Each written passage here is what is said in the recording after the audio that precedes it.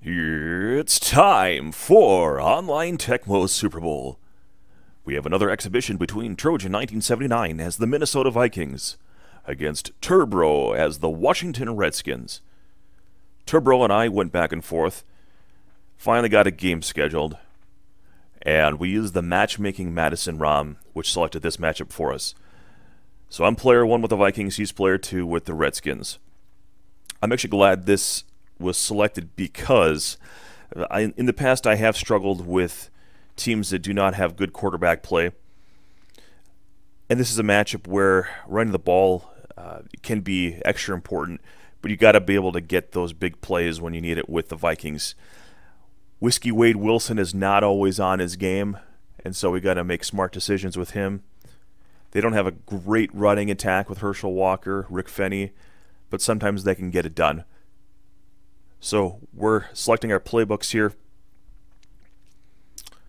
He's going to be rocking Mark Rypien, and he's got the three great receivers Sanders, Monk, and Clark. Uh, he's going to have great defenders in the secondary Mark Mayhew. He's going to have Todd Bowles. He's going to have Walton, and he's going to have the extremely fast Darrell Green to work with. So that's really the strength on the defense uh, with the Redskins is their secondary. Their linebackers uh, are are not they're kind of just mediocre, and their defensive line is real decent. But as far as man defenders go, you're going to be controlling someone from their secondary almost all of the time, if not all of the time. On offense, there's no great mystery here. They have a slow, statuesque quarterback in Mark Rypien. They've got really good receivers then, of course, you've got the two great running backs in Earnest Byner, who's going to be your primary runner, and then you're going to also have Gerald Riggs, and oftentimes people put him at tight end. Uh, Kelvin Bryant is also on this team, who is sort of a flexible player. Uh, if he gets into good and Byner goes into bad, sometimes you'll see him uh, carry the load or maybe just take a second running play. And then, of course, you will see uh, oftentimes Gerald Riggs at that tight end position or as the lead blocker. So here we go Minnesota Vikings versus Washington Redskins. He wins the toss and elects to defer to the second half. Chip Lohmiller, who's actually a decent special teams weapon for the Washington Redskins, kicks off, and we have Herschel Walker, number 34, returning the kickoff. And we get up just near the 10 yard line, officially the 9. And we go with a run to motion play, kind of borrowing the default, part of the default playbook for the Washington Redskins with Herschel Walker. Looks like he is leaning towards using Mark Mayhew at the bottom. That time he does get occupied by the blocker, and we can maneuver just enough to get near the middle of the field and get that first down. First down, run and shoot formation. Run three. Takes a chance with a dive, and gets it. Facing a second and 12. I go back to the play. This time he calls it third and 17. Some frustration is setting in. If you didn't see the last video that I posted, I had about 50% or even more than 50% of the run plays called. And I had just played that game when I took this matchup and I got extremely frustrated and I said, you know what, I'm going for it, which is a terrible thing to do when you are uh, in tournament play. You need to make good decisions and you need to forget about what happened in the last game and just move on. I couldn't. Uh, I decided I'm going to go deep. At this point, I'm praying it gets intercepted. It doesn't. it's out of the back of the end zone. Terrible throw. Whiskey Wade fails me. But I, it's really not his fault. It's my fault for even thinking that that was a good decision. It wasn't. Open up calling run one, offset I. He's got Bryant handling the ball there. Uh, in this situation, uh, I'm not sure why he elected to use this specific playbook. Um, I think he's better off using, you know, a more of a, a, single feature option with maybe one play going to the other running back. Um, you know, I think he should be attacking the middle of the field and Joey Browner uh, down below there. Uh, Merriweather uh, really isn't too much of a threat coming off the top. Uh, is a usable man defender, but it, regardless of that, he, he, he does score here on the first possession. Give him a short field, is able to get down. What I don't like about this is if uh, Kelvin Bryant were to go in bad, or if you had uh, uh, Byner going to bad, what you have here is now you've got essentially a couple plays where you're not going to be super effective if you've got a guy that's kind of leaning on that one, um, uh, that second person. You, you need two decent backs. Uh, as it sits right now, Bryant is an average, and he, he, can certainly move the ball, but that could change. Cole uh, pass two here. Just a real terrible decision to let that go. Luckily, it gets overthrown. No one's near it. Really has no chance of completing that. Again, I'm still kind of just mentally irritated from the last game. Uh, finally get some, some yards on the ground here. Still making bad decisions, uh, staying in the middle of the field instead of getting out of bounds. I'm uh, playing sort of prideful at this point. Disappointed that that blocker did not lock up uh, the other defender where I'd be able to have a tapping situation. Uh, so the gain is much less than it had been. Cold pass two, try to throw it up. And uh, Hassan Jones does not do the cut down. And uh, I had to look at conditions at this point because he just didn't get there in time. Uh, he goes into bad conditions, so his his movement is is far less than it should be. And what we decided to do here is to uh, rearrange. We really needed to be able to make that play work. So we're going to put Anthony Carter up top, and we're going to put Chris Carter down below. We're going to get Steve Jordan um, out of that position. We're going to put Herschel Walker at tight end.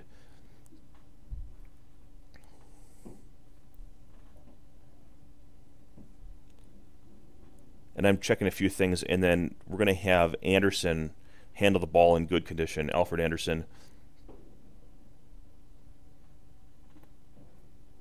And I decide to leave Fenney in as the running back too. I just didn't want anyone with poor ball control handling the, the ball at this point with the, the condition. Uh, you know, it's the straight-on hitting power of uh, Steve Jordan, even in the slower condition, is, is a better asset. He calls pass two again. This time I'm able to get it because Anthony Carter's fast enough to get to that breaking point the overthrow happens, and so does the JJ. Takes Mark Mayhew again, a run away from him, and he seems to be sticking with that choice. Um, I'm wondering if you've seen a lot of people just go after Darrell Green, and he decided that Mayhew was going to be his guy.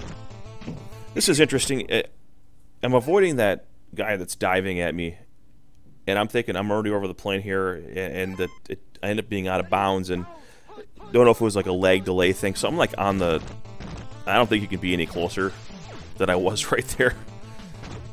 He comes up. I didn't want to fumble. I have fourth down, and I threw it thinking maybe, maybe he'll get there. I was pretty sure he was going to overthrow that. And at this point, you know, you can only guess so many times, and uh, Anderson was just fast enough to get there. It's hard to cover the entire field uh, with uh, with one guy. Um, Mayhew is, is certainly a, a fast and very good defensive back. Um, Darrell Green might have been able to get there uh, on the opposite side there. Uh, he's faster than Mayhew, but doesn't make it. We get the touchdown, and now he's inside of his 10. Mark Rypien's in good condition here. He mixes it up a little bit. He's going to have uh, with Bryant going into bad condition here. Now he's got to change up his his running strategy and he's got Gerald Riggs in one of the running back slots. And Earnest Byner still in the mix as well. Gary Clarkson bad, still a great receiver in bad. But now you got a situation where you've got a slow Gerald Riggs, who is really primarily used as a blocker. This this hitting power is now handling the ball um, in these plays, so it, it, limits how fast he's going to be able to get away. Versus Byner uh, has that that faster maximum speed and if he gets into the open, can do a lot of damage. So he's moving the ball, but it's it's not in big chunks. Uh, with that ball control stance of the ball carriers on the Redskins, uh, they can use the entire field and not worry about uh, putting the ball on the ground like some other teams. Uh, fortunate for him there, um, even with a, a good condition, Rypien, it does bounce back. The route gets broken off for some reason. And there are defenders there, but no interception takes place. I decided to get back there, um, thinking he's going to let that ball go. He doesn't, and he gets sacked. And it really his only option is really to let that go. I think that's a bad sack to take in that situation. 24 yards. Um, I take Merriweather here, and I make a poor decision. So for some reason, um, I think it's Lee at the bottom. Uh, I can't remember my uh, mother DBs there uh, on the Vikings. Comes up for a run, and we call pass on this. And so we've got an uncovered Washington Redskin receiver just just gouging me. So we go from third and a mile to first down, knocking on the goal line. Just like that. What I was hoping to avoid was like a down the field JJ, aka punt situation. I was really hoping to force a bad throw, maybe interception. Here I'm able to clog up uh, with Millard, forcing a third down. And I really got to keep him out of the end zone here. We've got a situation here He's going to be getting the ball back. I really need to hold him to like at least a field goal attempt, and I cannot stop him. Uh, for some reason, I lose my speed, changing direction there, uh, but it, it seems like really slow down, and all of a sudden he's off to the races with Rypien, who's in good, and then can actually make that happen. Um, had a lot of field to cover, and the receivers were stationary, so if he completes the pass, it's a touchdown. Kind of a damned if you do do, damned if you don't probably could have made a little better motion that would have prevented some of that. Uh, there I do just a little bit of a delay because I want the blockers to go behind me. I'm sorry, the, the, the, the drones to blow by me, and then I want my blockers to come up. Didn't really accomplish too much. I did get out past the 10, but we're at halftime, and it's going to be time to give him the ball back. So I'm going to need some help here uh, if I want to be in this one. I'm down a touchdown. Uh, part of me thought we need to go ahead and do an onside kick. I didn't actually intend to do it. It was just one of those things where I misjudged the meter.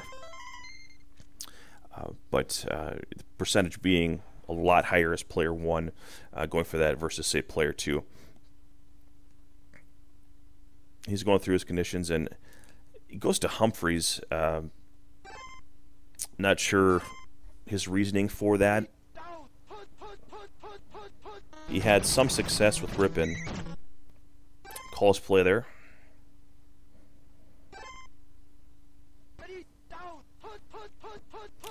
Switched up to Browner. He's good on the field. He calls pass one. Uh, the big threat on this one is usually wide receiver two, but he actually comes back up to Clark. And I get a break that I needed. I need to steal possession. I did see if Clark was still in bad condition, but um, not where I would have gone with the ball, especially on that down and distance. I cycle through here and just try to get him to come up enough that I can throw it over the top to Carter. May Mayhew doesn't get there. Darrell Green gets beat. One thing I've learned against Darrell Green is for some reason he can get beat on some of these routes. Um, as fast as he is, for some reason, when the computer controls him, doesn't get back very well. So uh, going down the field against Green, especially with a, a high tier receiver, is not a bad decision if you're throwing uh, across the across the field. All right, so Gerald Riggs returned the ball, stopped about the nine yard line. Here I decided to take Browner, and we're trying to just gobble up these blockers. So you get a couple yards on the play. Time he goes to the pass two. Burn route's not there. Tough decision here. I think he's going to run. And he looks like he's right at the marker, or real close to it there, uh, as far as the line of scrimmage, but picks a great throw. Risky throw, but it, works out. Uh, he makes the proper read here going down to, uh, with the pass three down to that, that burn route. He had the, the drone beat. However, was not able to make that pass. Um, we blow through the line there, occupy the space with Millard. And that lead blocker went down in a hurry. Back to Browner. Tight end and running back underneath are the threats right now. Humphries is able to get uh, some decent yards on the ground. I didn't agree with his decision to go for it here with this spot on the field, but he does. He actually breaks away uh, for a moment there, but uh, Doleman does catch up with him and he turns the ball over. So uh, this is essentially that second possession I was talking about. Again, going up past one to Anthony Carter. I'm sorry, past two to wide receiver one on Anthony Carter. Jumping JJ.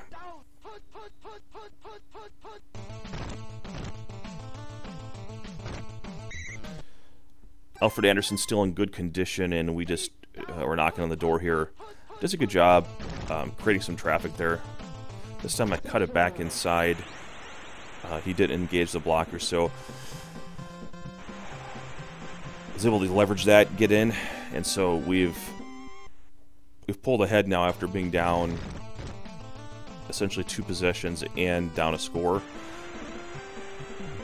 So I'm wondering how his confidence is at this point. He's got to be pretty frustrated. So it'll be interesting to see how he does here on this next possession. Gerald Riggs again, just not getting too far. Um, we've got the opening of the fourth quarter here.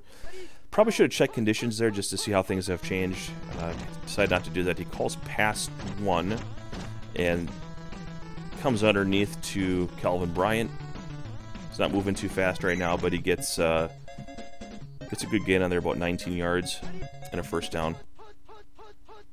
And really, the only decision there is to take away those deep routes on pass one. That's the that's where the the threat is, and he needs a score. So really, we're trying to keep everything in front of us if we can. Back to Browner get picked up by that blocker trying to...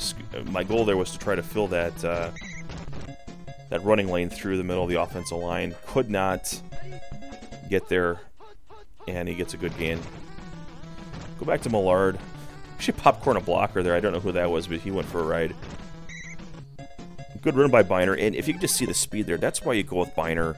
Uh, he's he's better than everyone uh, on that team by a lot. As long as his condition doesn't tank, you're, you're that's the guy you want to use on, on there. So uh, he finally does run over the line this time, and uh, he still gets a good gain, just moving the ball on the ground with the QB. Does a real nice job methodically, just taking what he can get. Puts pressure. Here, I don't know how I didn't run into him uh, earlier there. Uh, it might have been past the marker already, but uh, it seems that I just too often I whiff on on quarterbacks with uh, man defenders. So something I'm still trying to adjust to.